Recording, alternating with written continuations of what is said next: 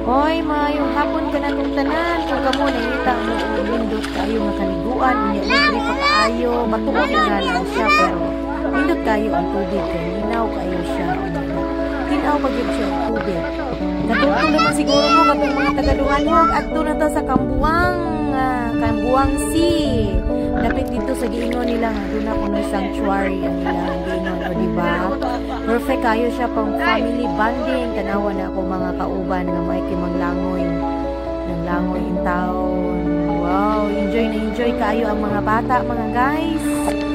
Oy, sa katong wala pa nakasubscribe, palihog kong subscribe sa ang YouTube channel na sinagina.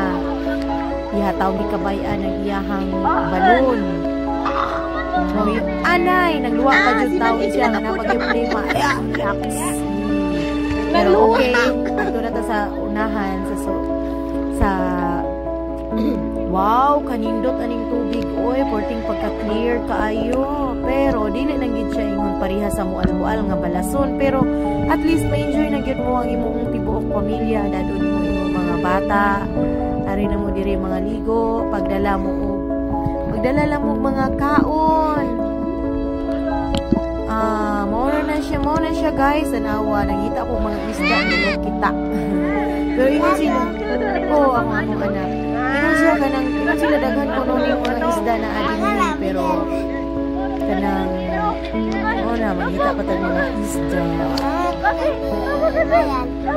Kaya karon tanawa ni sila o oh, mga anak, mga friends o oh, enjoy na enjoy kayo sila ng swimming. Wow, ari na mo diri sa Kambuang. Kay enjoy na enjoy gud mo. Unya tan-awa lang jud ninyo kung dili hunasan kay kung hunasan ah, mo unahan pinakaunahan layo pa kaayo. May tubig. Oh, ako, di ba? Happy kayo, smiling kayo ko. Happy kayo. Na, nindot kayo, ginaw kayo ang tubig, nindot siya kayo kaliguan. So, ayaw na mo kukuan. Hari na mo diri. Bye-bye!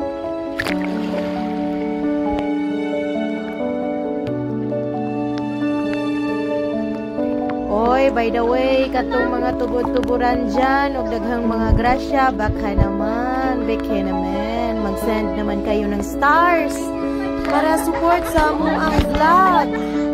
Para po na, doon na po tayo ka-share alang sa ubang mga tao nga nagkinahanglan. Diba, katong mga tubod-tuburan dyan, please share. Salamat.